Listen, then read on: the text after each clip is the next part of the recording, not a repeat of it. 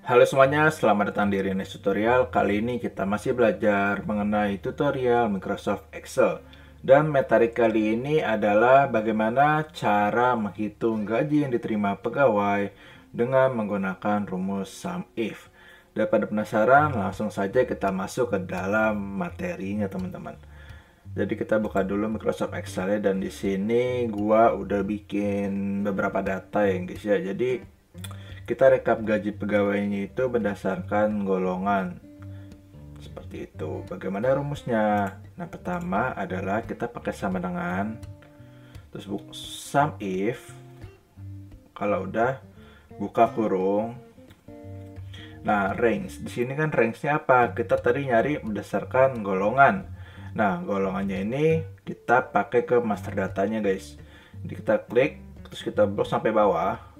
Kalau udah kita kunci uh, bloknya ini dengan cara pencet F4 kalau udah kalian koma sebenarnya titik atau koma itu tergantung dari rumus yang kalian muncul nih guys di sini nih guys.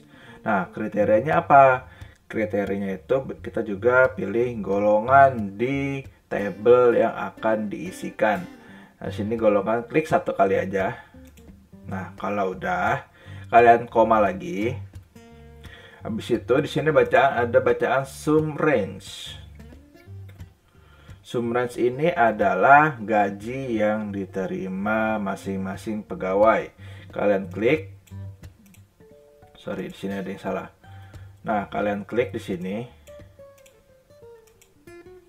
Kalian klik blok ke bawah. Nah, kalau udah langsung tutup kurung seperti ini guys rumusnya guys. Dan enter.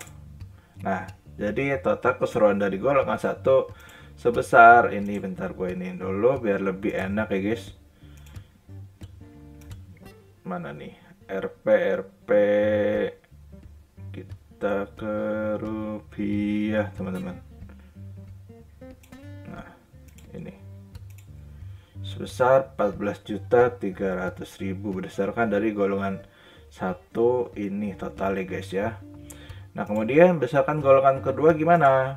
Kita langsung aja nggak usah nulis rumus lagi kita tarik ke bawah guys. Set set. Otomatis rumusnya bakalan mengikuti. Seperti itu.